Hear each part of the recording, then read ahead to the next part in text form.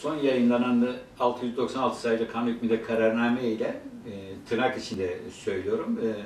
E, 15 Temmuz e, 2016'daki FETÖ paralel devlet yapılanmasının e, darbe girişimine karşı olarak sokağa inmiş olan halkı korumak amacıyla çıktığı söylenen e, bir düzenlemenin e, çok açık ve çok net bir şekilde e, AKP'ye karşı olan, muhalif olan ve asla şiddet istemeyen insanların ki şiddet istese dahi onun kanunlarımızda yeri vardır.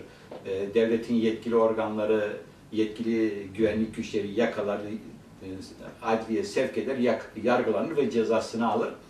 E, insanların e, yapacakları e, muhalefet hareketlerini, muhalefet eylemlerine karşı e, AKP'nin e, sokağa saldığı milis güçleri olacaklardır. Ve keza bunun örnekleri de vardır. Bunun örnekleri e, gezi sırasında elinde palayla bir kızımızın beline tekme vuran vatandaşın da tutun e, e, Ankara'da insan hakları heykeli önünde eylem yapan Nuriye Semih'e kadar e,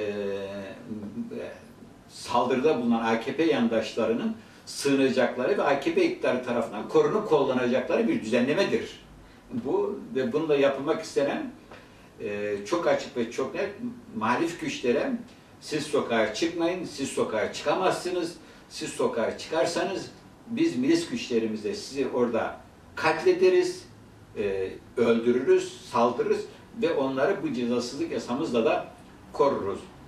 Yani şimdi bir evde e, bir koca çekse karısını vursa ve dese ki e, terör örgütünü övdü ve sonra Cumhurbaşkanı'na küfür etti dese bu yasanın kapsamında yararlanma olanağı vardır.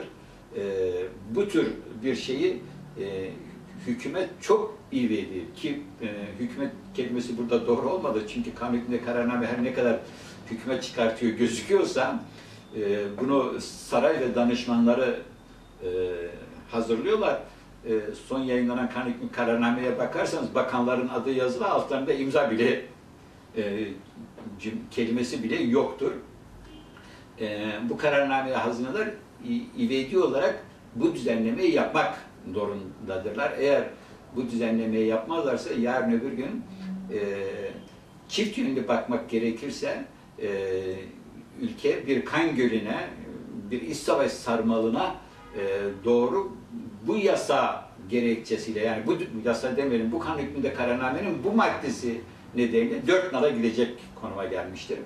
Oysa ki e, devleti yönetenlerin ülkeyi kan gölüne çevirmeye değil, e, ülkedeki kanı sonlandırmaya e, ve barış ve huzurlu bir ülke yaratmak gibi görevleri vardır.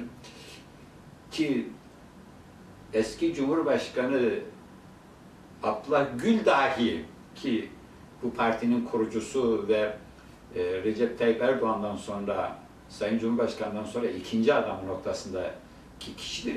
O bile bu düzenlemenin doğru olmadığını söylediğine göre e, bununla ilgili çok ivedi bir düzenleme yap toplumdaki e, bu ayrıştırmayı, bu birbirine düşman etmeyi, birbirlerine zaten e, bu ayrıştırmadan kaynaklı tepkisel olan e, durumu şiddete dönüşmesine engel olacak şekilde düzenleme yapması gerektiğini düşünüyorum.